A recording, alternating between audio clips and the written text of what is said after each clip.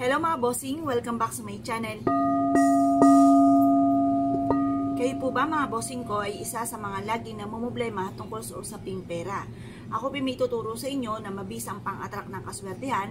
Ilagay nyo lamang po ito sa inyo pong bahay or kaya sa inyo pong tahanan or kaya sa inyo pong negosyo. Ito po ihahatak ng maraming swerte lalo-lalo na sa usapin ng kasaganahan or ng pera.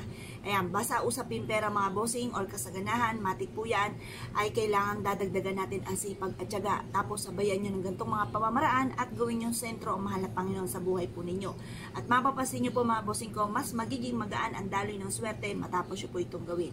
Kaya kung kayo pinaniniwala sa mga pamamaraan, ang video ito ay para po sa inyo.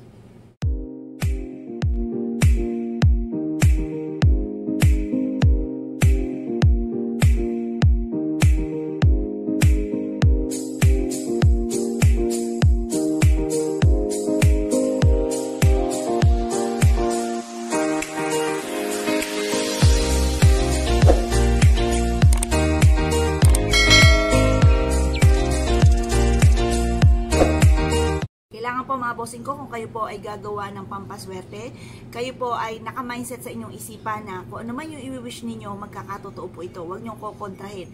Kailangan may positibo kayong pananaw sa buhay. Pag may mga dumarating sa inyong pagsubok, yan po ipagdadasal po ninyo at lagi nyo sasabihin, kaya ko to, malalampasan ko to. Ganun po mga bossing. Para kaagad nyo po yung malampasan. Parang hindi mo mapapansin na parang nasus- nasolusyonan ang problema po ninyo. Pero pag dinibdib nyo po yan, ako, lalo lalala po yan, maaaring maapektuhan pa ang inyong kalusugan kalusugan.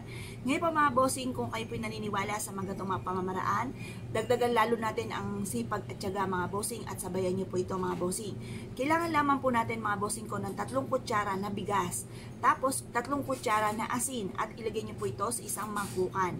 Yan po i-mix niyo po mga bossing at mag-wish po kayo ng paulit-ulit na mula sa inyong pong puso. Sabihin niyo sa pamamagitan nito ay tuloy-tuloy ang agos ng swerte. Kailanman na hindi na ako mamalasin pa. Lahat ng mga pangarap ko ay, sa, ay matutupad sa pamamagitan ng ganitong mga pamamaraan. Bukod sa sipag at syagat pananalig sa mahal na Panginoon. I-wish na lahat ng nais ninyo. Halimbawa, may negosyo kayo. Dito sa akin negosyo, ay dito na ako yayaman. Direct to the point ang pag-wish. Wag, wala nang, walang gamit ng sana at huwag ka na magpatumpik-tumpik pa, huwag ka nang mahiya dahil wala naman po yung bayad.